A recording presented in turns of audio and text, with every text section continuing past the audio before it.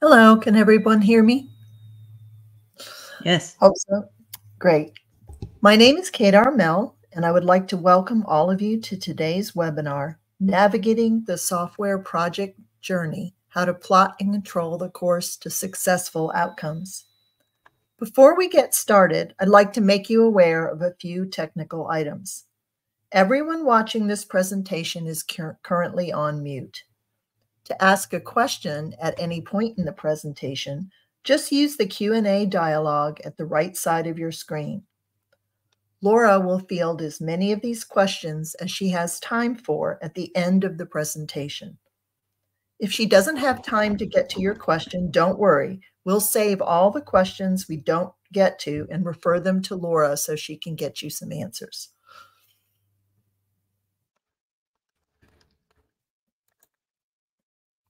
And I'd just like to tell you a little bit about our presenter today, Laura Zuber. Laura has 27 years of experience in software development, consulting, training, and support. She has conducted training and coaching sessions for all QSM Slim Suite tools and helped customers implement Slim across a wide variety of processes and platforms. Laura has managed software development projects served as a senior software process improvement specialist, performed process assessments, designed and implemented best practices, and authored numerous training programs. She is a certified Scrum Master and Safe Agilist. Thank you, Kate. I appreciate that and I appreciate all of you joining today as well, taking time out of your busy schedules. You know, to successfully navigate software projects in today's complex and dynamic environment, you need an accurate, an accurate picture of where you are, where you're going, and when you'll get there.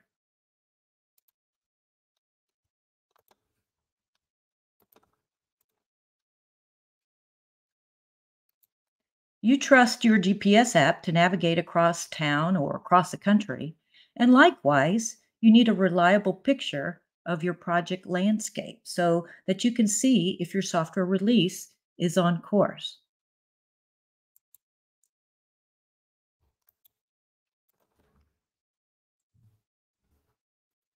Your GPS, you know, will compute your average speed. Uh, it varies, right? Maybe there's an accident and your speed goes down, and it will show you how far you've gone. And if you've, uh, you know, you've gone it'll show you how far you've gone, and then also, of course, that you have this far to go. And your arrival time will also get adjusted if you stop. So your highly visible software project has started, and as time goes on, how do you circle back to your original plan or estimate to make sure that the actual work to be done is taking you where you want to go?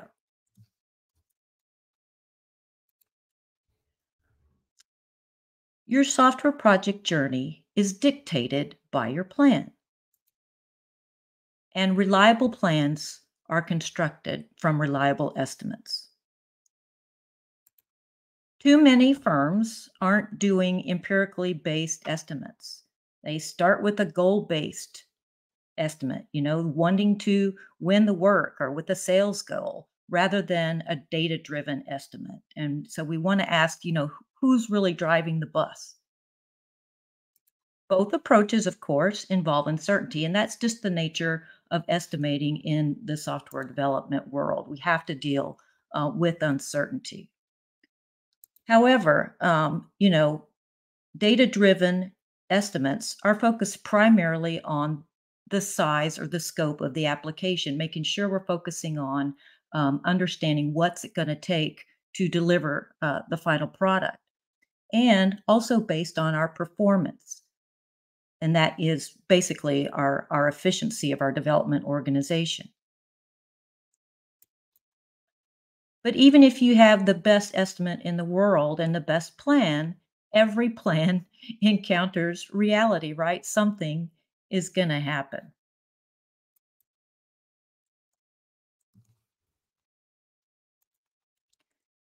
For over 45 years, QSM's Slim suite of applications has helped thousands of organizations manage software projects throughout the lifecycle. The Slim estimating and forecasting methodology, and that's what I'm going to focus on today, is this two products, Slim Estimate and Slim Control, mostly on Slim Control, of course. But our methodology is top down, scope based, and it models the nonlinear behavior of software projects. We said, I just said a while ago, that reliable plans are constructed from reliable uh, estimates. And the problem that Slim Estimate solves is getting companies used to not using goal based estimates and creating data driven estimates. The problem Slim Control solves is tracking the actual data so you can see literally how it lines up to the plan and tells you where you'll end up.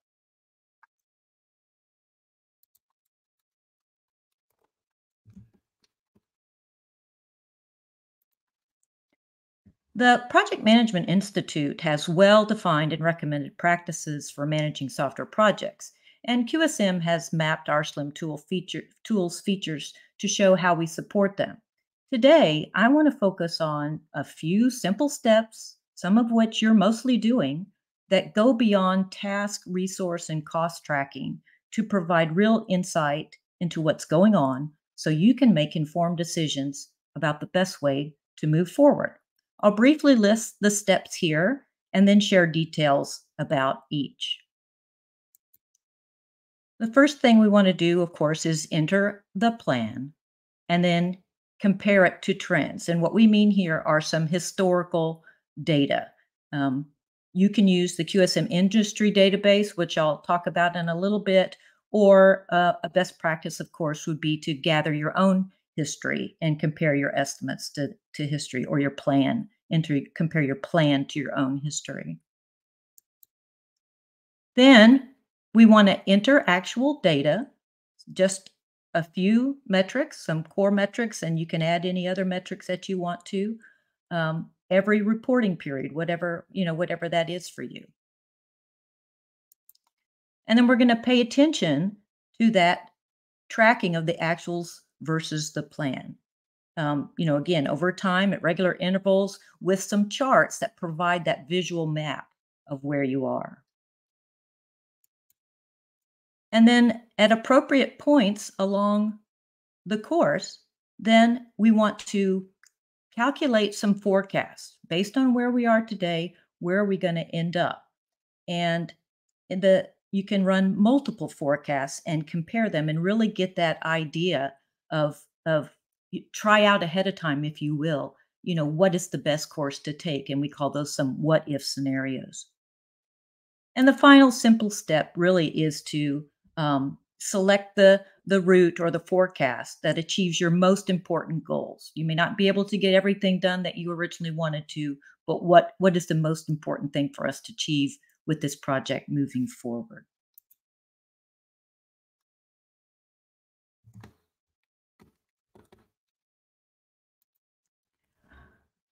Before describing the tracking and forecasting process, again, it's what we're mainly about today, let's talk a little bit about how your software plan is derived. Many companies estimate by creating detailed plans, really, um, either based on the roles needed for a task um, or a task list, commonly referred to as bottoms up estimates. The last really big project I worked on was a very large pharmacy development application, and you know we had departments for every role almost, and and so we actually did role based estimates. But these approaches have challenges, and the main one being a lack of focus on the total scope of the project. Plus, there's difficulty in getting that detailed data in a timely fashion anyway. So these can take a long time. It's not a bad way to go, um, and some really good plans could come out this way. It just it's fraught with a lot of, of challenge, challenges. Slim scope based method uses your estimate of the pro, your estimate of the product size and a productivity or efficiency of your development environment to determine time and effort.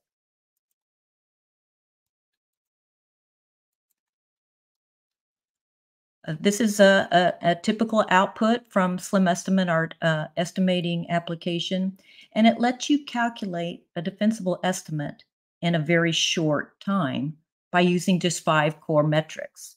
So that's what I've highlighted over here, um, blown up this particular image here. We've uh, we typically show for the develop main development effort plus any other activities you might have included in your life cycle. Um, we only have uh, the main development here. So the um, you can see the core metrics are really what we're focusing on here. We've got duration, effort, uh, effort in and the cost associated with that effort, staffing levels, and even a, a quality or reliability number. Um, our size is this is just a generic uh, uh, uh, unit of measure for software size that we sometimes use. And here's the efficiency. So you can see we're staying very um, high level.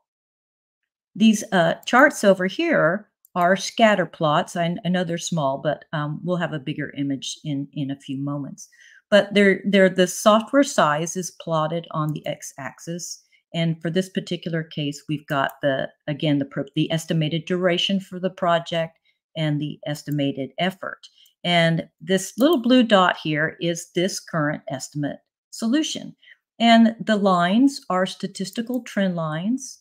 And we've also got here uh, these other little teensy tiny uh, data points are our own historical projects. So this is the way that we can, you know, look at the estimate or the plan and sanity check it against industry data, uh, which can be super powerful and then, of course, a best practice would be to also have some of your own data. So before we ever get started with the project, a best practice, of course, is to have uh, a very good plan. Um, QSM's industry database contains over 14,000 uh, completed projects, and it provides the size and the productivity data not generally available early in the life cycle. And not only do you get that benefit, but you can uh, again, use it to sanity check your estimates and identify unrealistic expectations.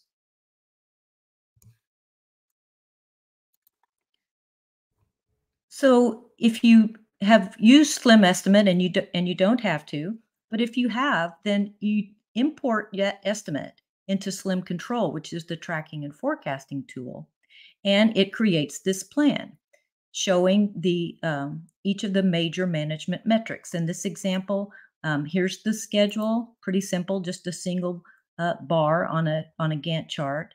We've got uh, our staffing plan. This is a level loaded. We tend uh, a very a small team, and this is the uh, buildup of the construction. Again, that's the generic uh, implementation unit that came from the estimate. Um, but here we actually added another size measure of features. Um, and you can add as many as you want. So you want to think ahead of time is what what is it that is really super important uh, for me to track? QSM, uh, you know, as a as a corporation, we work with large organizations uh, using the scaled agile framework, and we've helped people track progress based on uh, several size measures as they're decomposed from you might start with capabilities and then uh, also track epics and then features and stories. And it's it's not that hard and it's extremely valuable to see how these uh, track with each other and understand their relationships and the relative sizes um, and dependencies. Um, but you don't have to use slim estimate to use slim control. Um, it can work with any plan you've got and you can enter a custom plan.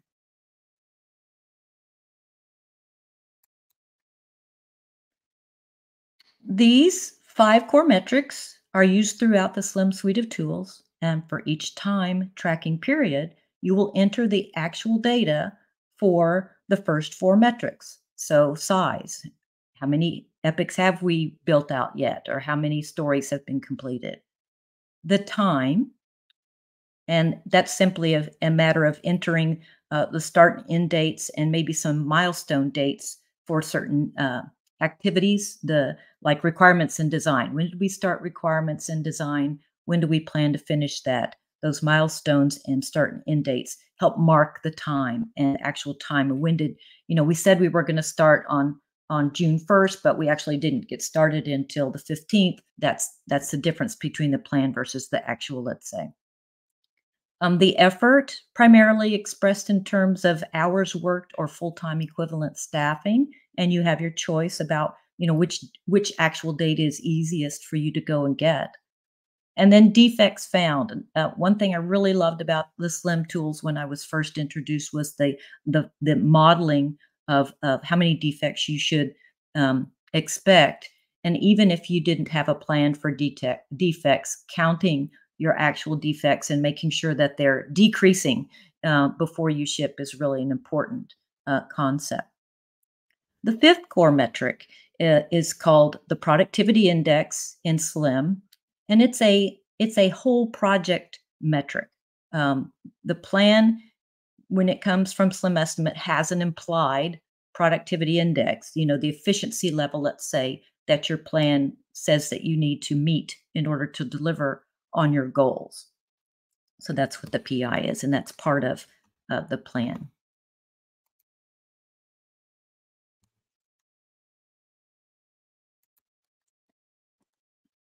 The plan in Slim Control is simply those metrics that you want to track during the project. We call those uh, plan assumptions, and this is a screen of, of what they might look like. And you can uh, see over here that there are not a lot. Uh, we've got the the the five. We've got the core metrics. Uh, productivity is doesn't show up here, but we've got the core metrics, and there's several defect uh, metrics because they're just broken out by severity class. We also, I mean, you could track just the total defects if you if you wanted to. But for each metric, then, what Slim Control wants to know is when should I start seeing and collect actual measures for this uh, actual data for this particular measure, right? So staffing would be starting at the very beginning of the project um, for whatever set of activities are being performed first. And at some in staffing, we would probably calculate or, or capture the actuals all the way through the project, right? Because people are hopefully not stopping working and they're always working. Uh, here I've got highlighted uh, highlighted that um, size measure that we happen to be using. And this would start not until the development and, and testing effort starts and it, but it will also go all the way through the end of the life cycle. And how many units of the how many what is how many items do you expect to build? Uh, this is uh, again thousands of implementation units, roughly equivalent to a line of code. But you would have um, notice we have you know features completed here. We would maybe we expect to complete 240 features. So whatever your measure is, you just tell it when to start, when does it end, and how many do we have? The other the other thing that's that's happens just in slim control is this idea of a production pattern and that's the the uh, when i get to show you a couple more charts that's just that typically that s curve where you're starting up and it and it builds up. And the other thing you might want to think about is you know again like for the for the example of effort. Do I, is it easy for me to just give the uh, number of staff that's working on the project or or do I have a nice system where I can go and pull uh, the person hours out? So again, just very uh, simple, not a whole lot of, of information.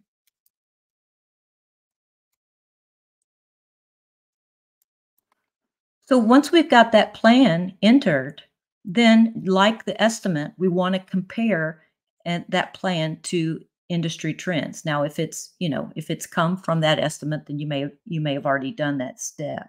But what you're looking for here is that just that good feeling that is is this a good plan? So these are very similar, uh, if, if not the same scatter plots I showed a while ago. Now, this particular example is um, is uh, still that same uh, release that that QS, QSM did. Um, but in this particular case, these trend lines are our are constructed from our own history. Um, and so, you, you, again, you can see it gives you a good comfort feeling that this this plan is very much falling in line with what we've been able to do in the past.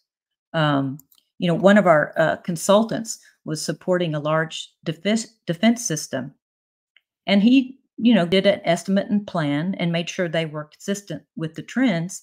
and management rejected what he came up with. Um, they wanted it faster, of course. He quickly replanned in estimate to reflect their goals, and that was quite aggressive.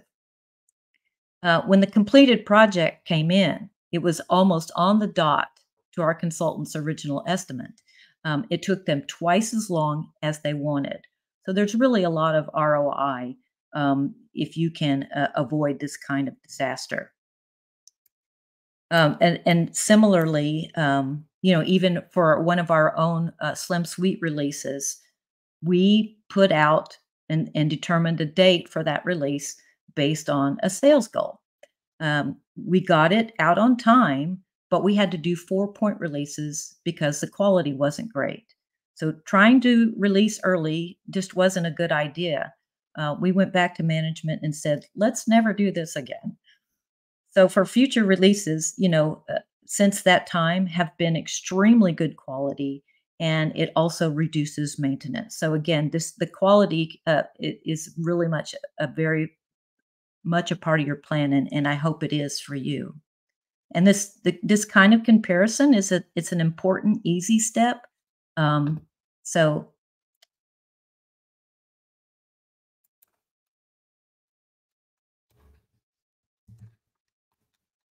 what we want to talk about next is exactly you know get some idea of what is the the the data that we want to collect. So we talked about the plan validating it. The second step is to go ahead and start collecting that that actual data which requires a little bit of planning of its own.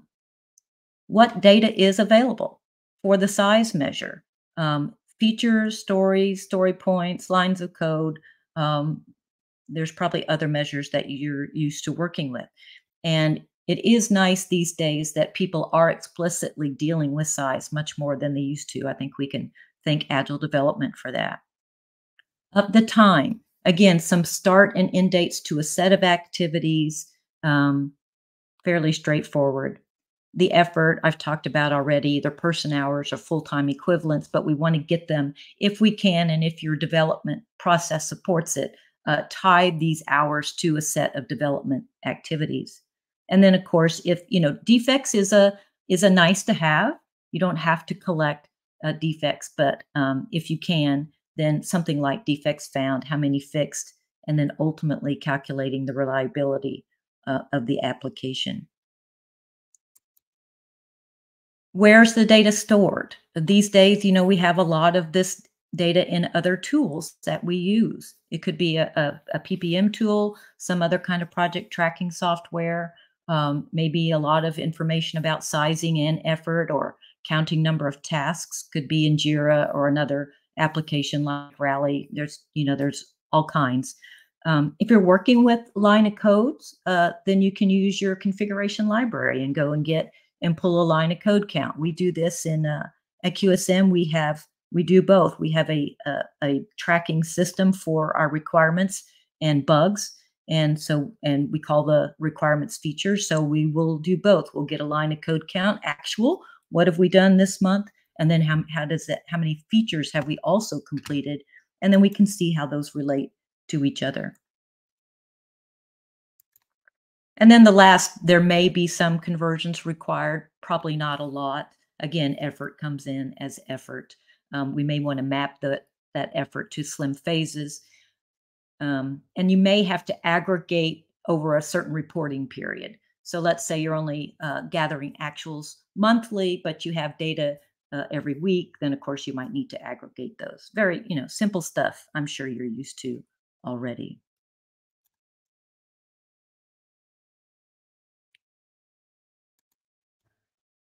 So, like the plan assumptions, this is a, an image of what it would look like to uh, enter your actual data. You can, there are report certain reporting periods. We just come in here and say, well, how many people were working this month? How, how much functionality did we complete this month? Or could be weeks or sprints.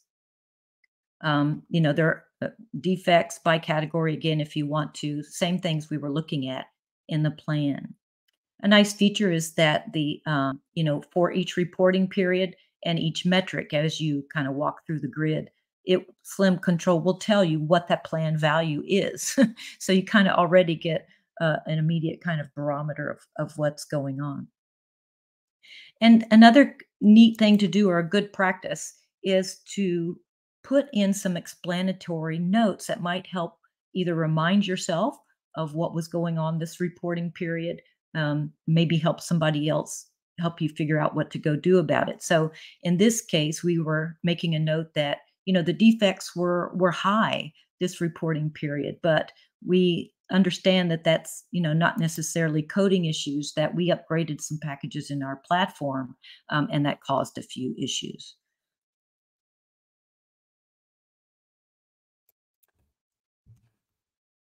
so once you have the plan and the actuals here's the most interesting and exciting part and that is being able to have the visuals of the actuals versus plan um, these control charts provide great insight. And we're going to talk about forecasting in a few minutes, but um, even just tracking alone by itself can be uh, extremely valuable. Uh, this is uh, some charts for uh, this is the number of staffing on the project. You can see it's quite a long project. Um, the this is just the total number of tasks to be completed, and this is actually some of, of the lifecycle deliverables. So what you're looking at is the plan is uh, how things should shape out over time is the blue line. And associated with those in slim control are control bounds, these yellow configurable area um, that you set up for your tolerance for deviations from plan, right? We won't we don't want to overreact uh, if something is not exactly on plan because it you know if something is exactly matching plan i would actually be suspicious you should expect a little variability maybe not with staffing so much but it does we do find that that is a common a common problem right projects get behind because they just don't get the staff on board as quickly as they needed to like kind of like in this example um, but when you deviate away from uh, the green and then then you see the traffic lights on your chart and of course red is is no good so that you're getting here that GPS early warning, and it causes you to ask questions. Why are we behind? And that may need that may prompt you to go and collect another metric. You may need to go define another metric to get more insight into really what, what's going on. You, you know, development work is hard and collecting data takes effort, but it's super worth it um, what you're looking at here is a, a, some charts from, uh, again, another one of our consultants was doing some expert witness uh, tasks. And she reconstructed the vendor's project tracking of only effort and time. But she added the size, right? What are you getting for all that time and effort? And the product development fell behind right away. Um, you could see it back here for sure in, in these two charts. And you didn't even have to forecast it to see it. And not having this kind of visual, the customer didn't know what questions to ask. Um, so, again, this is a good approach for anyone who's doing vendor management.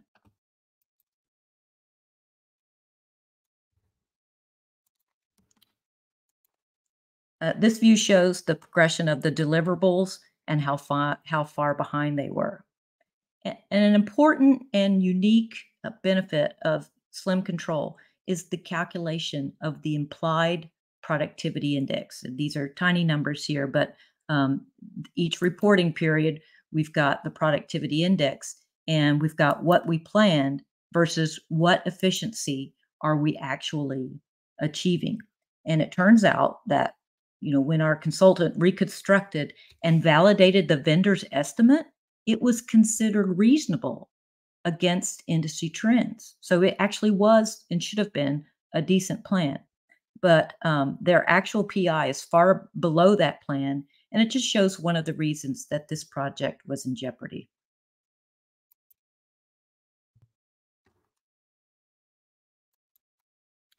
Um, the next step is to uh, before we compare multiple forecasts, of course, we have to at least calculate one or more forecasts.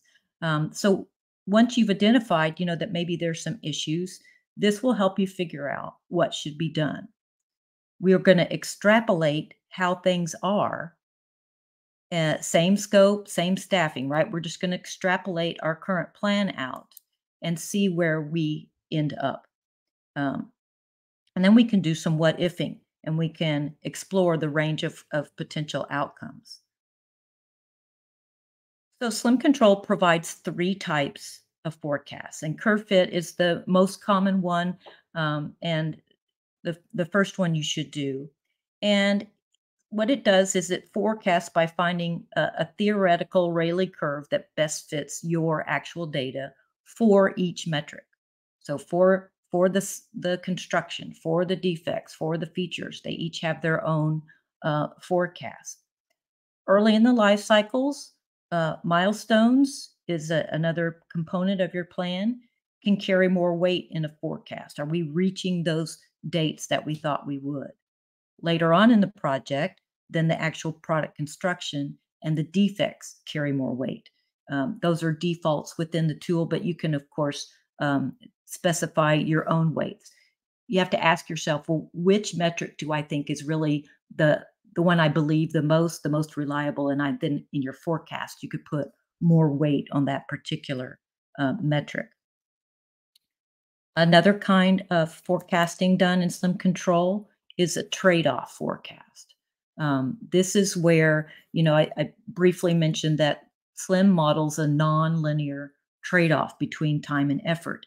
Um, software development is not manufacturing. So putting twice as many people on a project to compress the schedule is just not going to get you what you think it does. Um, so what you can do here is you uh, enter a new level of staffing value and Slim Control will calculate your new end date um, and you can see the schedule and cost implications for that.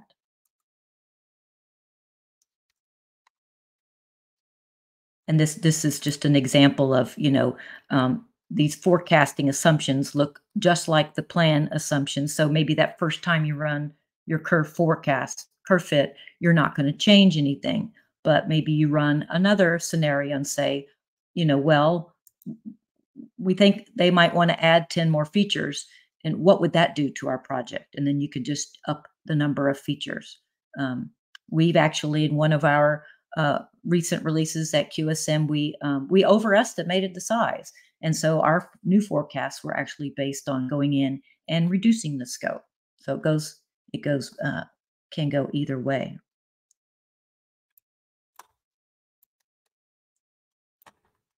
And lastly, the third kind of forecast is what we call a maintenance forecast. This is when um, development uh, is over, we've completed, and we're ready to release. And um, we want to make sure that we reach our quality goal. This could be, you know, uh, software for medical devices or something that re- uh, some kind of application that really needs to be of high quality then you iterate on different dates and see what the reliability would be based on uh, working let's say another three months to remove uh, the defects that are currently within the system and again um, can be you know just because the end of the pro that schedule says the end of the project is over doesn't mean that the product really is good enough to go out the door. And this can help you figure that out.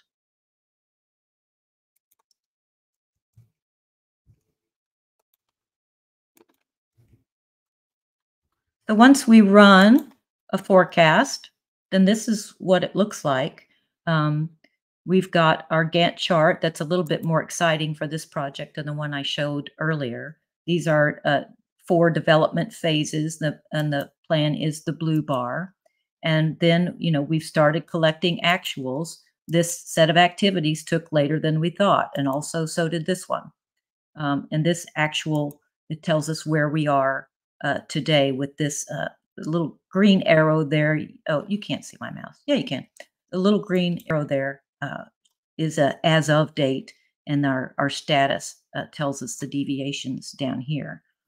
So similar similar plots from what we saw originally. We've got our actuals, and and this is our plan, and and then the forecast it will clearly give us a picture of where where we're going to end up based on how we're performing today. And you know, you can use this to uh, negotiate. Um, you know, the productivity index, if it's not up to snuff, a lot of times is not going to magically uh, get better. So we kind of have to go with what we've got. Uh, and again, you might need you might need to reduce functionality. Uh, we can't get it all to you now. Let's do a two re two release scenario. We'll get you the most important features now, and we'll deliver the next next in the next release. So hopefully you do have some room to negotiate. You may not, but this will certainly help communicate the possibilities to the decision makers. And again, more than anything else, you can visualize, you know, on the top of the hill, uh, what this looks like and communicate it with others. Can't really get that from uh, a spreadsheet. Spreadsheets and detailed plans and tracking are good data, uh, but not always in a digestible form.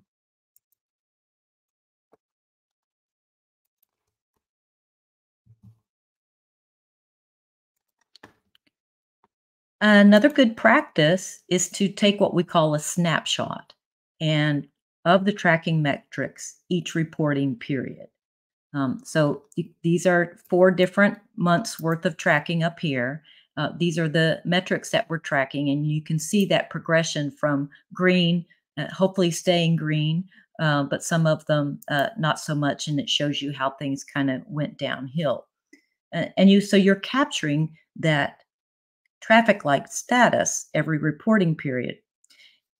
And here, uh, you know, you can select the charts again at each reporting period that show the most important outcomes, good or bad, hopefully some good, and use this note section to explain your findings and your recommended action. So you could point out what was going on this month with the two charts with some descriptive data here. And, and then you can see the trends over time and it provides a great audit trail. Too often, I think project plans aren't formally updated or rebaselined. Um, and so this this kind of history can be extremely valuable.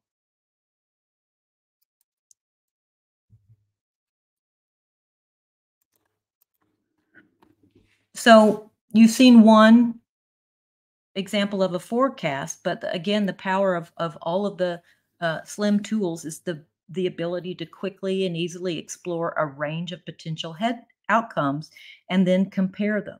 Don't settle for one potential solution. Um, so we've uh, got we've run multiple forecasts. The actuals are what the actuals are, but we can do those what if scenarios, run multiple forecasts, and we can uh, it's really the next slide coming up, but this kind of goes along with this slide too, which is we can turn a forecast into the plan. You know, once we kind of say, okay, you know what, I'm going to go with this forecast. It's the one that makes the most sense to me based on the weights of the metrics I gave. Um, I'm going to turn that into the new plan. Um, but you can continue to kind of do your analysis, and maybe a month from now, you might want to replan again. Hopefully, things aren't that fluctuating, uh, but again, the, the possibilities are here.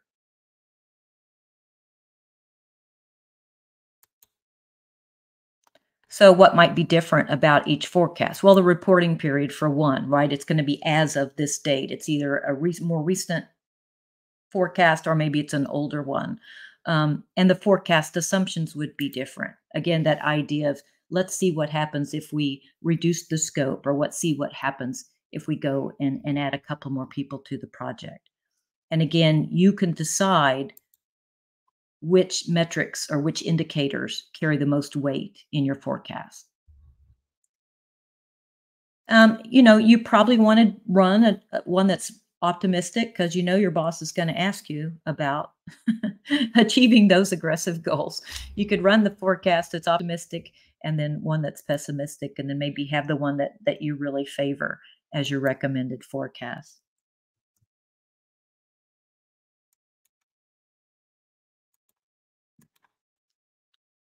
Oops. So the last step, again, I kind of mentioned just previously, was to make the forecast the current plan. So you can see here, we don't have that blue line anymore. Um, it's over here because this is this particular chart is is designed to show all three. Um, but here, and this one I guess could be too, but it shows you that you know the history of the current plan is the actuals, and then we're just using that that green forecast line moving forward. So we've baselined this plan, and this is what we expect to happen uh, as of as of today.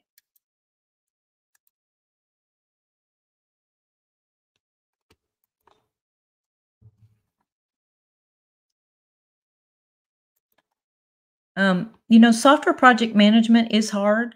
When I was a project manager, I heard colleagues say the project managers get all the responsibility and no authority.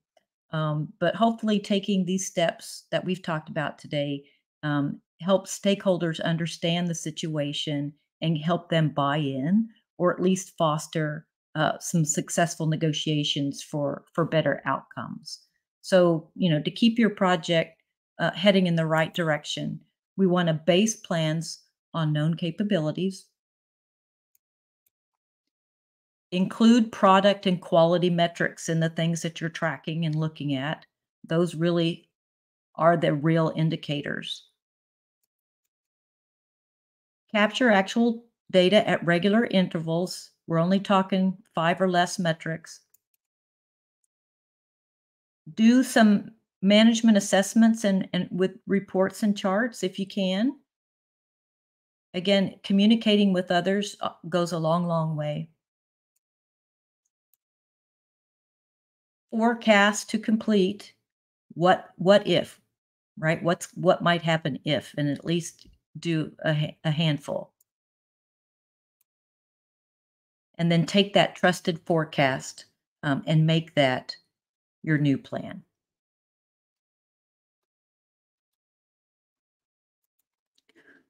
So uh, thanks again for your your time and attention today. I, I hope that that some of this was um, helpful to you, um, and I'd be happy to answer any questions if you have any.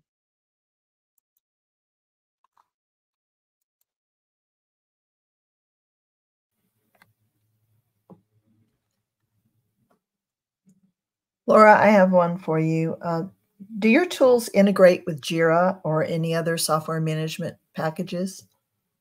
Uh, yeah, can. We uh, we have an API for Slim Control and uh, Slim Estimate as well, and we've built a, a, prototype of an integration between Slim Estimate and Jira um, for Slim Estimate, and a full integration between Estimate and Clarity, the PPM tool. Um, and QSM is happy to work with you uh, to you know work with you to to do the same for Slim Control uh, often creating really an Excel integration using a data export from one of those tools is a really good place to start.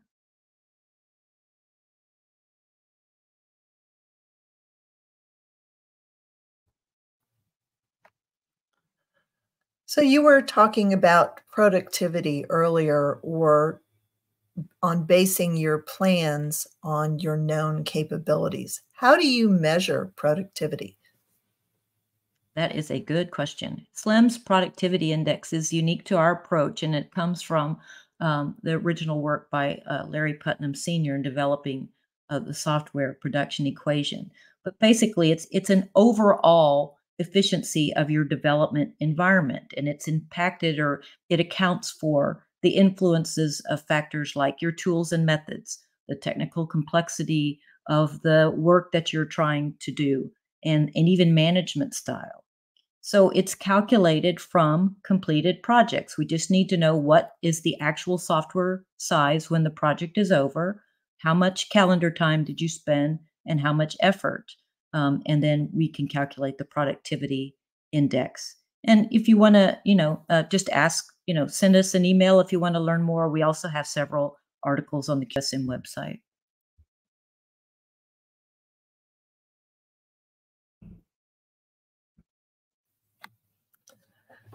So you talked earlier about running multiple forecasts or about what ifing.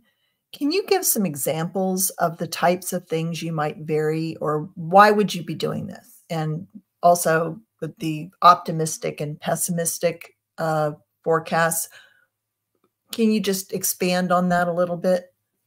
Sure. Uh, you know, so the software size is pretty important, and early on in the estimating and planning process, we, you know, we may not have as much data as we'd like, and our project uh, estimate and plan may be off on the scope a little bit. So that's one uh, one of the first things I would look at is okay. I think I think we're going to deliver, um, let's say, uh, 2,000 story points. Maybe that's the estimate that we were working with, um, or a certain number of stories. That's my plan.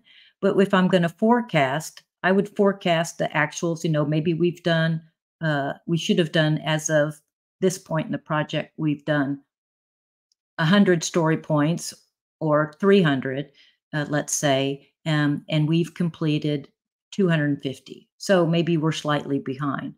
My first forecast would be just sticking with that estimate of 300. But I might also bump it up a little bit to see what might happen if we underestimated um, or hopefully not we have to add more work that happens too or we i could i could do one and say well you know we've only done 250 but i think we understand the application pretty well why don't we why don't we do a forecast based on the fact that it's not 300 it may be less than that. And then i could do the same the same scenario kind of applies uh, for staffing. Uh, you know we have a small development team at qsm and and we know what our plan should be but you know people get diverted on other projects and and we don't always get everybody working uh, that we need to and that's a common across uh, organizations so again you could say you know what if we don't get everybody working? Or um, if you are behind and you think you can uh, remedy that with a bigger staff then you would run that scenario. So just kind of common sense stuff.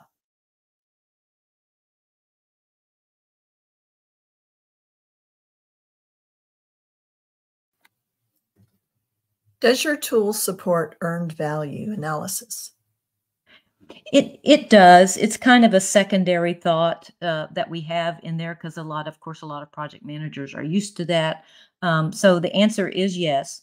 You select. Uh, you know, we talked about measuring different uh, tracking uh, and forecasting based on different metrics, and in Slim Control, uh, you pick the metric that you want to represent um, the best breakdown of the tasks that need to be completed um, or the size, whatever. What do you think is the best size measure?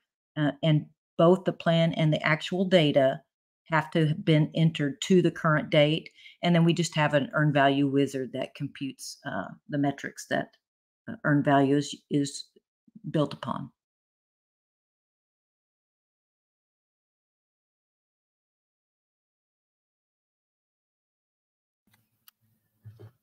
About the trade-off forecast,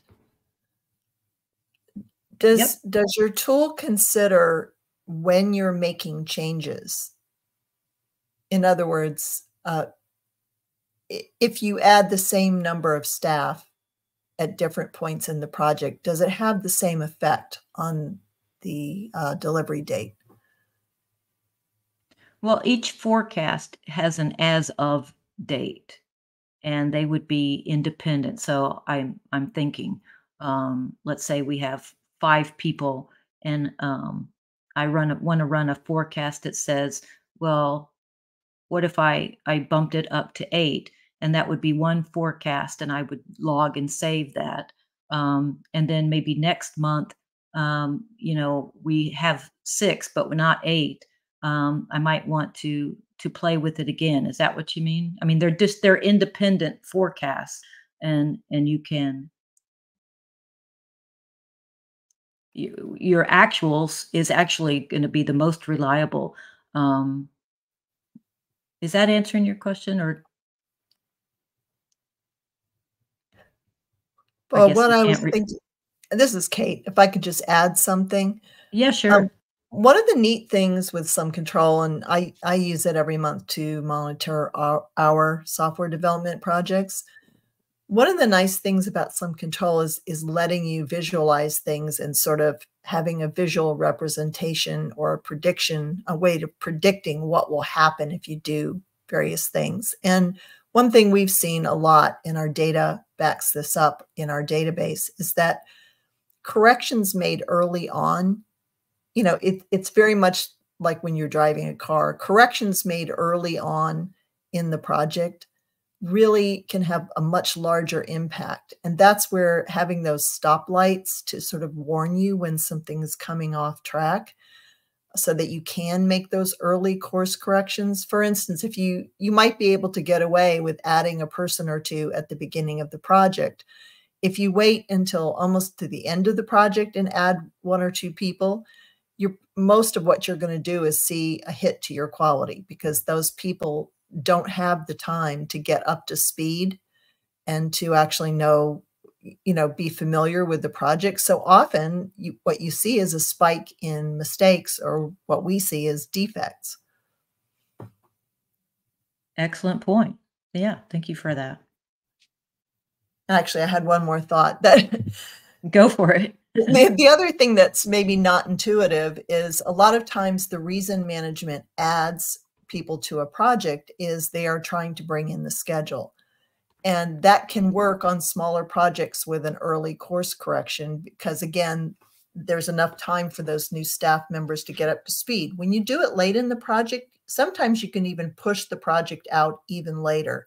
And, and not only do you not get any schedule compression, but you're actually going to be later than you would have if you just kept going the way you are. And that's one of the nice things Slim Control can actually show you in real time because it's got all of this trade off behavior that is inherent in the data built into the tool. Great, thanks.